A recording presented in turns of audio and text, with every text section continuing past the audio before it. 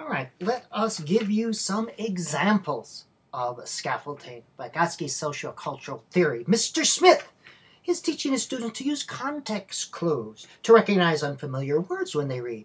Since this is a brand new task, he creates sentences with keywords missing, but includes the first letter of the missing word. This provides his students with just enough structure to complete the task. As they get better at this, he eventually is able to drop the last letter or the first letter, and then his students are able to read the sentence just using context clues. Example number two. I'm a wrestling coach. Teaching my wrestlers a complicated move that involves many different steps. First, I demonstrate the move so they can see what it looks like, but if I would then just tell them to go try it, I'd frustrate about 80% of them. Instead, I move break the move into four parts and verbally guide them through each step. Step one, step two, step three. I take them through the move several times, gradually speeding up, and I can see if they get it or not. They go through it with a buddy. Finally, I'm able to say, all right, practice five of them or so on your own. Independent practice.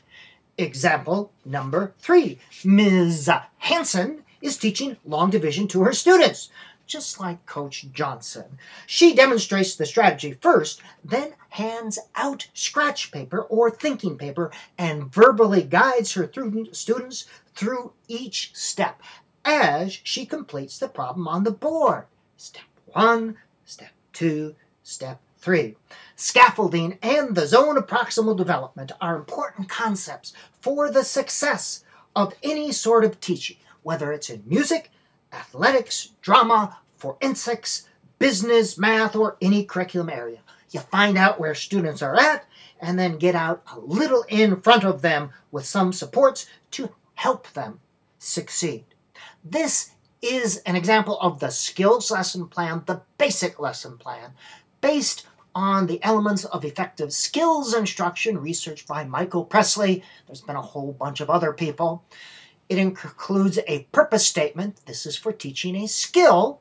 The purpose of this lesson is students will learn how to insert skill here. There is input. You provide instruction and modeling. These are the steps. Watch me as I do it. This is the important part. The guided practice or the scaffolding. You take the whole group through the skill and gradually take away supports.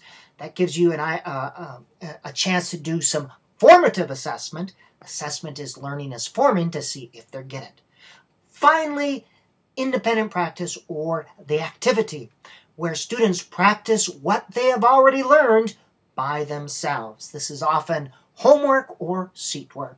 Body of research, Jere Brophy, says that if you want to enhance learning, this independent practice, homework, seat work, should be able to be completed with about a 95 to a 100% success ratio, not ratio. And again, it's practice of what has already been learned. This is not the place to challenge them. The goal of homework is to help them learn, to practice what you have already done in class. It's not to challenge them or measure them or try to get a nice dispersion of scores. It is to teach them and help them learn.